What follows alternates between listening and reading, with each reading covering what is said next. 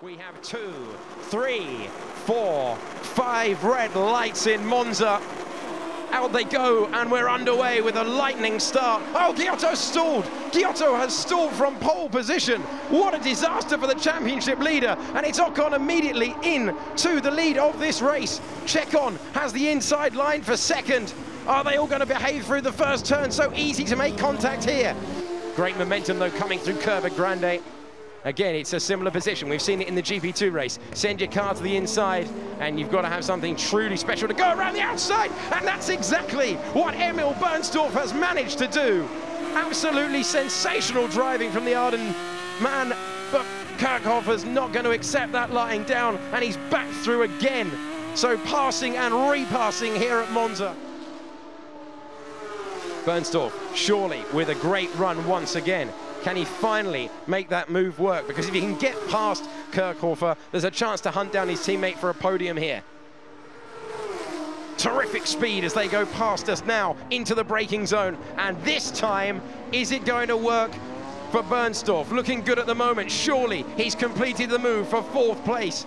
But now Emil Bernstorff setting the fastest lap of the race and trying to take away a podium finish from his teammate. Nervous moments on the Arden pit wall. Has Ceccon gone too deep? He's really going to be vulnerable into the second chicane. Bernstorff may well already have the move complete.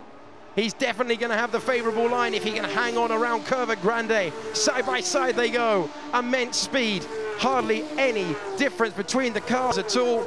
Down into the braking point now. Who's going to be bravest? Who's going to take the position? It's going to be Bernstorff, but he's locked up.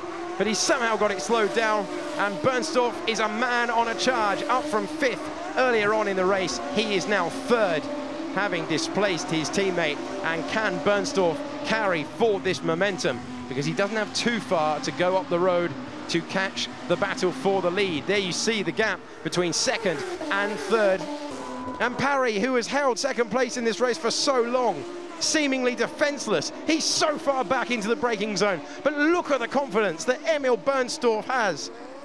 Just slicing through. Is he going to be able to respond to that sort of lap time? Half a second faster on lap 15, half a second faster on lap 16. And we really are in for a grandstand finish here and can Bernstorff seal a fantastic victory and deny Ocon first place for the second feature race in a row? It's going to be decided right at the end of this fantastic GP3 race here in Italy. Good momentum for Bernstorff, who's trying on the penultimate lap of the race to get the job done, to take the lead. He's got a lot of momentum. We've seen him go around the outside of an ART once before. Is he going to do it again? It's looking good, and he's into the lead of the race with barely over a lap to go. What a brilliant drive from Emil Bernstorff, who wins in Italy from fifth to first. Spent the early part of the race battling with Kirchhofer.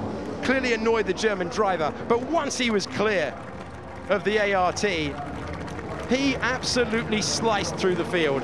Great composure. Great tyre management, great overtaking. That was a drive that had it all.